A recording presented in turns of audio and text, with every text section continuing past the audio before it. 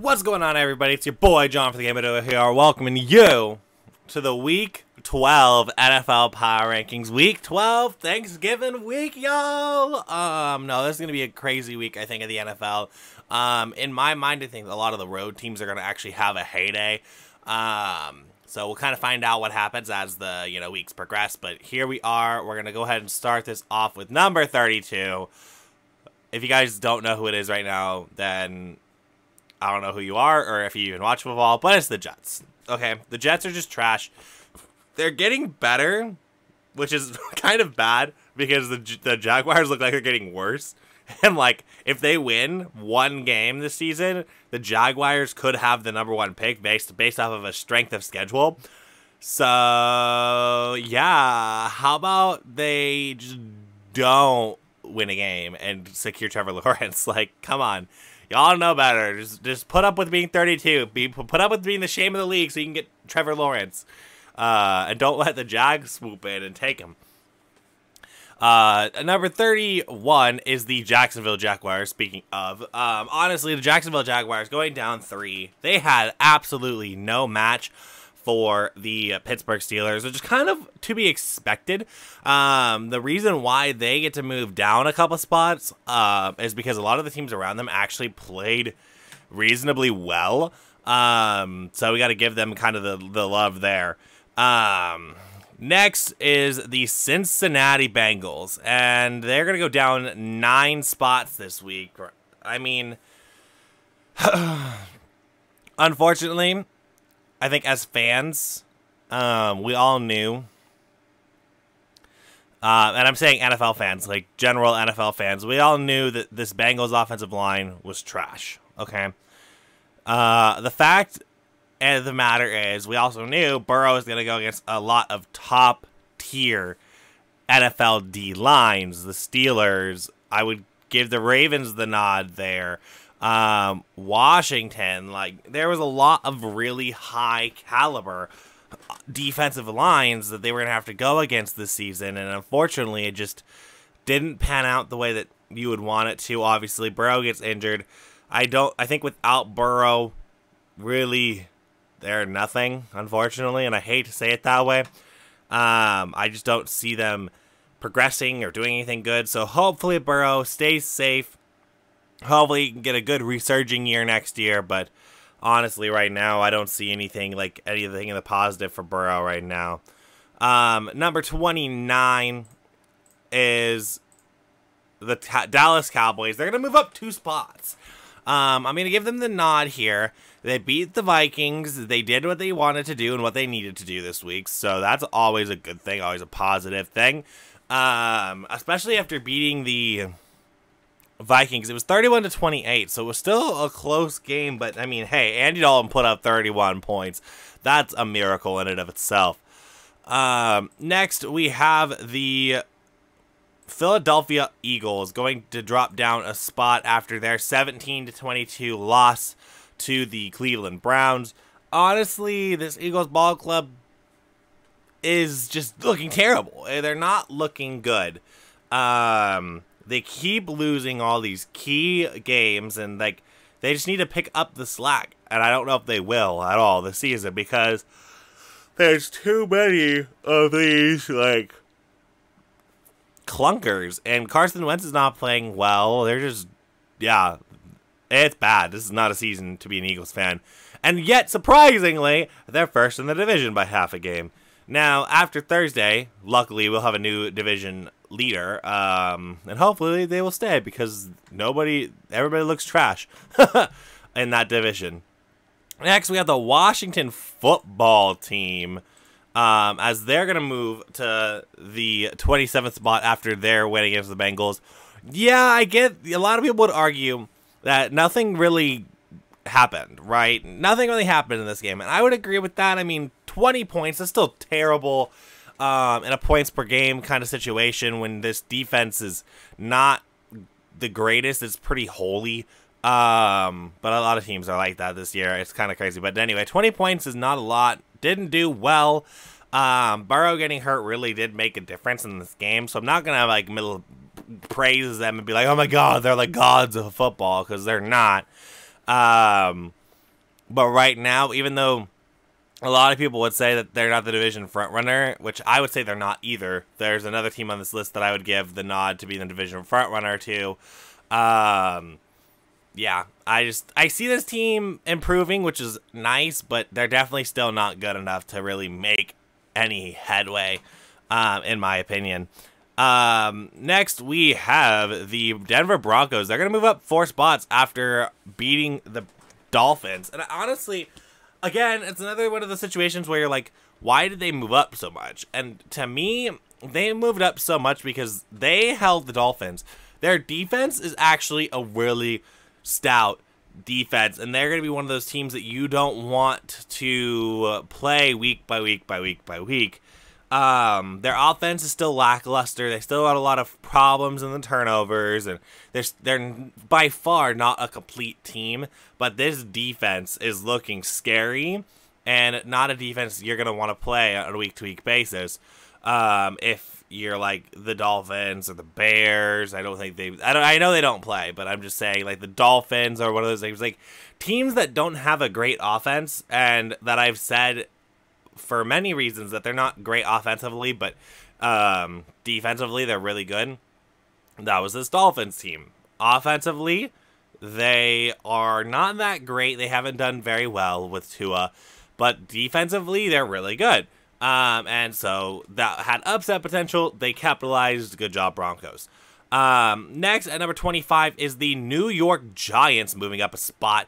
Um, they are in that kind of they're the front runner, I think, in this division. Obviously, everybody's so grouped. The NFC is like they're all together, but the Broncos are just in the middle of it. Um, but that just tells you how bad this division is.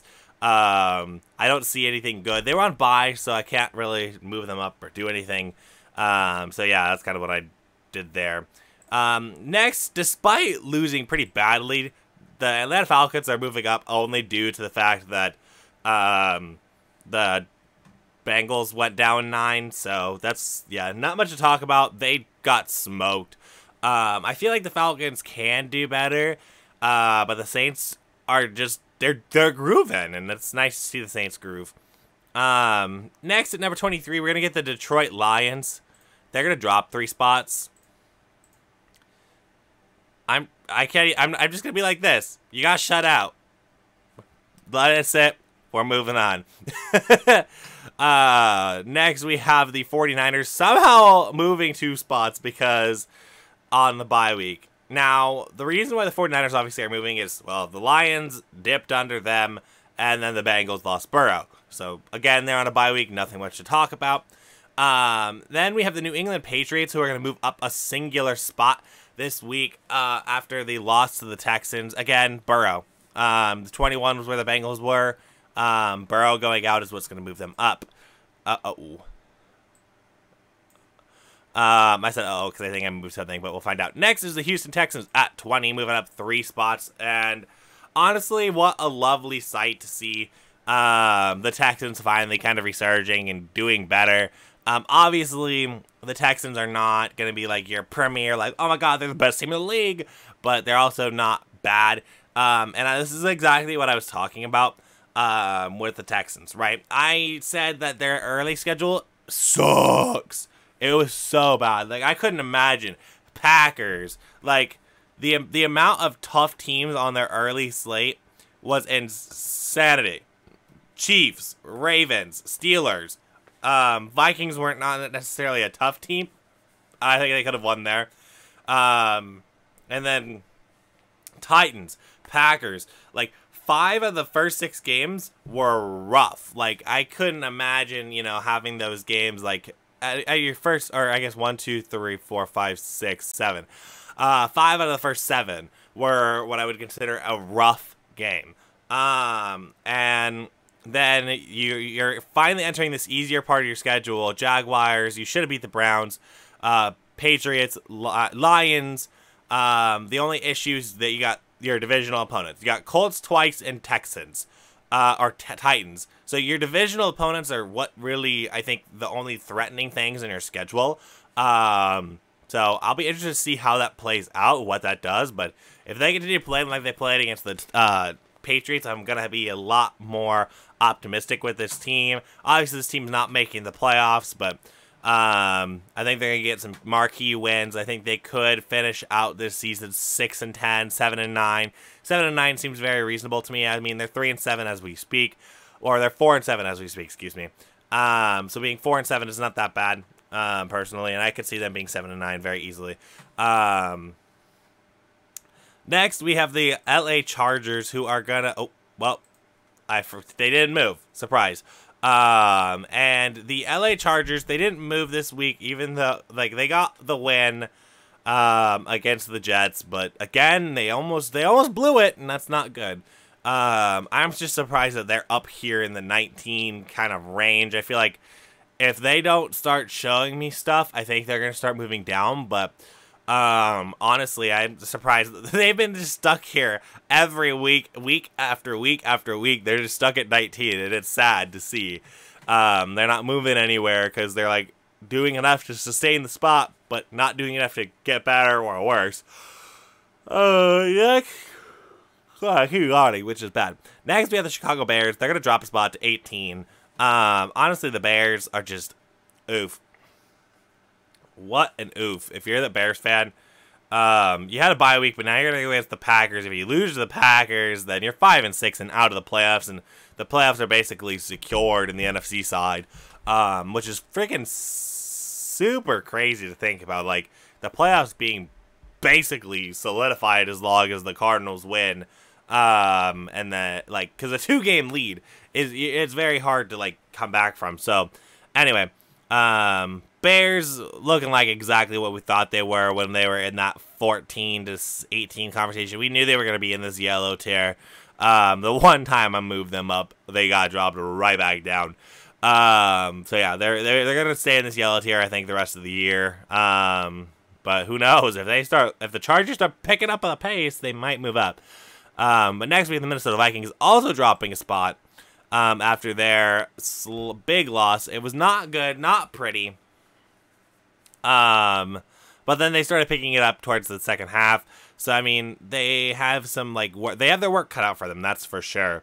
Uh, next at number 16, we got the Carolina Panthers, who are going to move out two spots into 16th place. Um, obviously, the Panthers are not going to be a playoff team. This is like this is well known at this point.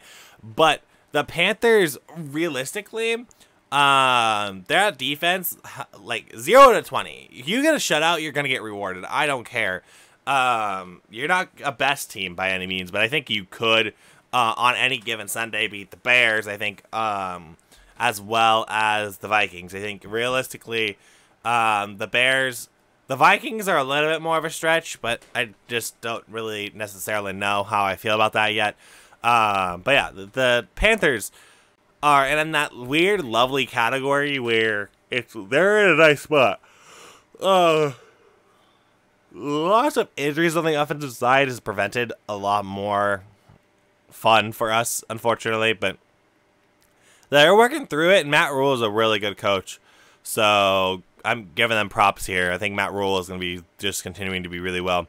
Um, next, we have the Miami Dolphins at 15, minus one. Honestly, the Dolphins looked like the old Dolphins, the Dolphins that were in the 20s. Um, so hopefully they don't continue that way, but we don't know much about Tua. Like Tua has not been a high caliber, high performing player.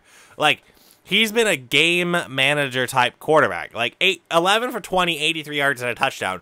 Like what the heck? He he does not gunsling. He does not throw the deep ball and it shows with their offensive lackluster ability. Like like here, Dolphins, Tua, 15 of 169 yards, two touchdowns. Like, he is not your gunslinger type of quarterback, and that is what he has shown. Um, and in an offensive league where you need to have that gunslinger, that person that, like, that's why Ryan Fitzpatrick, like, replaced Tua this week because you need that person that can throw that deep to intermediate crossers or that deep to intermediate routes. Um, and you're not getting that with Tua, which is gonna like make low offensive games and create a bunch of issues. Um, the only difference is Tua actually will protect the football. So I think Tua's got a lot of development that he can do and he will do. Um, but I think he's playing it safe. And your rookie year playing it safe is not the most optimal. It's nice to play it safe and get those wins, but don't play it safe all the time because you because if you play it safe all the time, you're gonna end up being Kirk Cousins, um, and you don't want to be that for your career. You want to be one of the greats. Take them risks, move the ball down the field. If they don't work out, they don't work out. It's your rookie year. You get a slide. You uh, led this Dolphins ball club to a much better record than you would have ever thought this Dolphins ball club would have been. Take some risks, Tua. That's that's what I'm asking you to do. I I don't I just take some risks. You play, I believe the you play the Jets. Please, for the love of all that is holy, Tua, take some risks against the Jets. Uh, I hope he does, but I don't know. He's been he's shown this whole play it safe thing and the Dolphins might lose to the Jets. I hope not. I hope not, but it could happen. Um, in New York, like, uh, I hate thinking that. I hate thinking that could be a possibility. Um, but yeah. Uh, next we got the Cleveland Browns moving up a spot. Um, honestly, they just flip flopped. One won, one lost. Boom. Um, Oakland Raiders are going to stay put at 13 yet again. Um, they lost to the Chiefs. They're the number one team. They kept it close, 31 to 35. I'm not going to hinder you too much again. Divisional game never really been that one to like hinder and be crazy over divisional losses. Um, but definitely have some improvements to be made. Next, we have the Arizona Cardinals moving down. It says down two. Yes, down two spots. Doll It's down two because they were at 10. Um, honestly, the Cardinals showed weakness last they had a very they were not physical. They did not they were outmatched physically, and that's not what you want to see um, from a team that's aspiring to go to the playoffs. Um, right now, they would be that seven seed in the playoffs, and I think they're either going to be the six or the seven this year. I don't. I see them in the playoffs, but I don't see them in a high ranking in the playoffs. I think a lot of that's because the freaking Bears are the one that's trailing them. There's no way the Bears are going to do good. They let's be fair. Um, hashtag freak the Bears, as Joy says. Um, next, we got the Tennessee Titans going up a spot uh, after a win in overtime. Um, obviously, I predicted the uh, the uh, Ravens to win this game. Obviously, I was not paying attention because Lamar's terribleness at home. Uh, but honestly, the Tennessee Titans, to me, are not a bad ball club. They're one of those ball clubs that you're like, uh, what? Like they did this, like, but they they're not somebody who's gonna like you know spring the record books or do anything. They play cohesively as a team, and I think that's one of their best uh, attributes of this team, and one of the reasons why I think this team could make it interesting throughout the year. Um, I think this team is one of those. Uh, it's fun that you like they play as a team, so they win as a team and they lose as a team, uh, because everybody's gonna either play terrible as a like, or everybody's gonna play well. Like their losses, oh my god, they've been big losses. Um, they've not been little losses by far, but I think that's like the culture and like this team in general. They're gonna win well as a team, and then they're gonna lose well as a team, um, and it's gonna make them stronger in the long run. And it's just nice to kind of see a team that sits here and does well. Um, and I hope they continue that. Um, I don't know if they will against the Colts, who are leading into this, are number 10. Um, two AFC South teams with two overtime games with the same result. Honestly, I the Colts should not have won this game. They got really lucky, uh, which is going to set up for this 10 to 11 game. It's going to be really fun to see. Um, I'm just the, the Colts have a tough ending schedule though. Um, and that's kind of something I'm worried about is the toughness of this schedule in comparison to the Titans schedule where it's not as tough. Um, I feel like this could go either way. This division, this game could be determinant of the NFC or AFC South. Um, right now, I think the Colts are a better team, but I would give the Titans the edge to win the division. Um, but yeah, we'll see what happens next week. Next, we have the Buffalo Bills, who are gonna go stay put at nine. Um, they had a bye week, I believe, didn't they? Or who they play? Um, it looks like they. Who do they play? They were on bye. Okay. Cool. Good. Okay, that's what I thought. I was like, I swear they were on a bye this week, and they were. Um, so don't need to talk about them because they were on bye. Next, we got the Packers. They're gonna drop down a spot to number eight. No hard feelings. I, the reason why they're not dropping down a little bit more is because the Bills were on bye.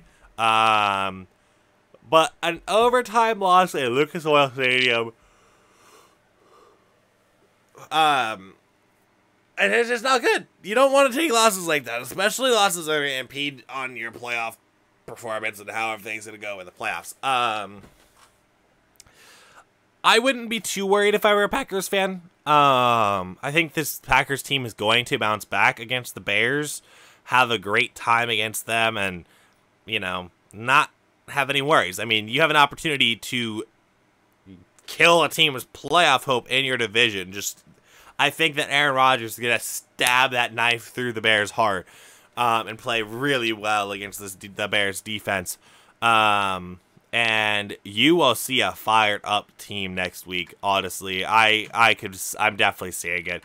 Um, hopefully you do because that's a divisional opponent. That's yeah. It, it it's realistically the Packers basically have the division already. So, um, because every other team in that division is in the um third column.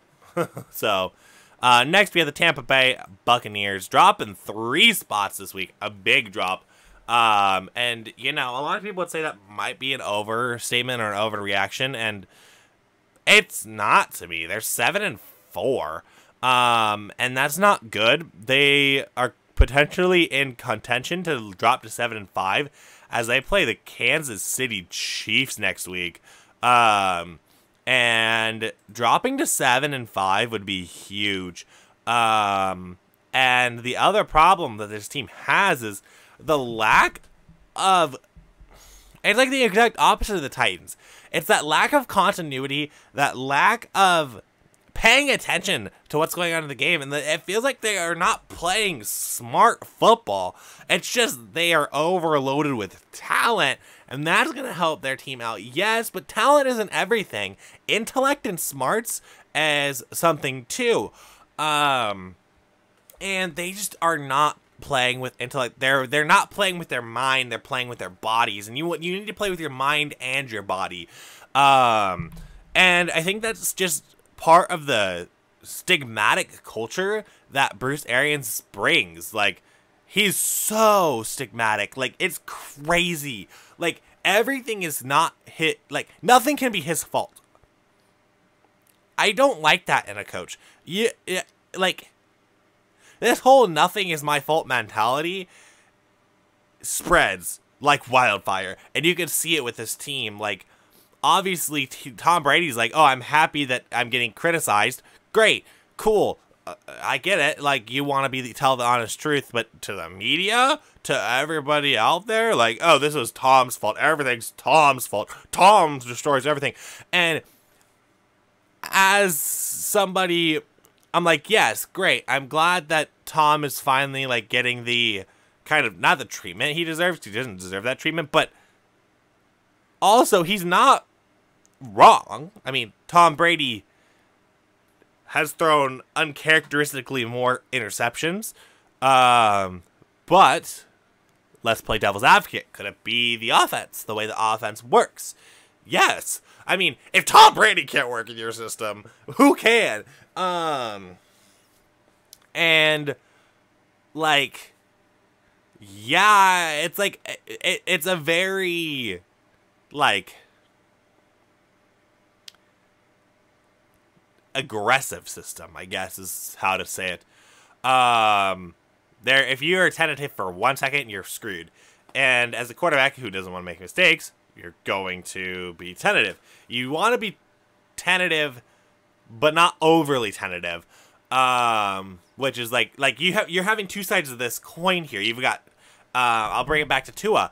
Tua's got that overly tentative kind of oh god something bad's gonna happen if I do something wrong kind of mentality. Tom right now in the Buccaneers offense is be aggressive, be e assertive, be assertive, be e assertive. That's my sister never watches these, but she would she would enjoy that. Uh, but anyway, and you you need a mix, you need a balance. Balance is everything, and some of these teams just haven't figured that out. Um, okay, next we have the Los Angeles Rams, um, who are going to move up two spots, just right ahead. I think that the Packers. Um, I want to see the Packers and the Rams play against each other. I want it so bad, um, but we're not going to get it this year, sadly. But anyway, I can't wait. If that happens, like if we get a 3v6, like a 3 seeded 6 seed, I would love to see it be Packers and Rams. Like, that'd be a fun matchup. Um, but anyway, the Rams, you know, they they take a care of a really good opponent. Still don't see them winning the division. Um, but they are realistically they're right on they're right on the heels. They're right on the heels of being one of the best teams in the NFC. Um, next, a lot of people are going to say I overrated this team. And yeah, I can see that.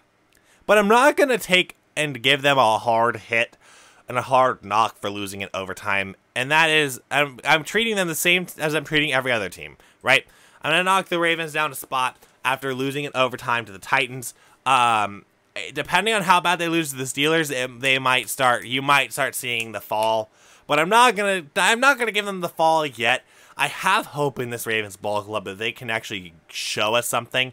But they are. They're teeter to me, they're teetering on that edge of are they good enough or are they not? And we need to see a good performance on Sunday eh, to really be like, okay, they're good enough. And I don't know if we're gonna see it. I mean, if they drop to six and five, they're falling. Um, they're they're at risk of being just inside the top ten, if not outside of it. Um, and I hope I don't have to knock them down that far, but I think they, they are very much at risk of dropping that much more this week. Um, next, we have the Seattle Seahawks at number four. Uh, they came back. Their defense is looking stronger than ever.